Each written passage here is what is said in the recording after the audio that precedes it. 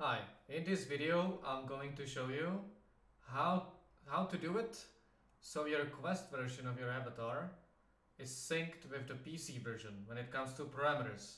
And this is very important and actually I found out quite a lot of people including professional uh, avatar creators didn't know about this. So how does it work? A parameters from the PC to the Quest version get synced by their order. Meaning, this the first one will get synced with the first one on the Quest version, second one with the second one, and so on.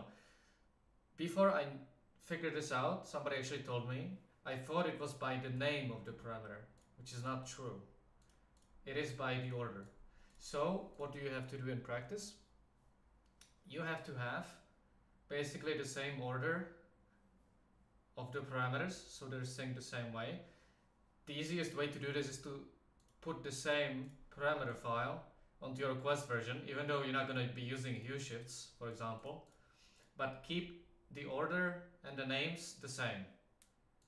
Because if you don't, for example, let's say on the PC version, I have dress toggle up here, but on the Quest version, for whatever reason, I have it as the third third option.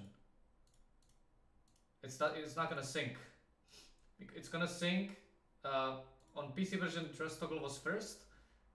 And if I would have it this way on the Quest version, it would sync over the has loaded parameter because it's first. And on the PC, it was first. And uh, basically that's it. It's not difficult. It's just a, one of those little things you need to know. So I hope this helped you keep your avatars synced over platforms, PC and Quest. If you like this video, please like it and uh, comment, subscribe.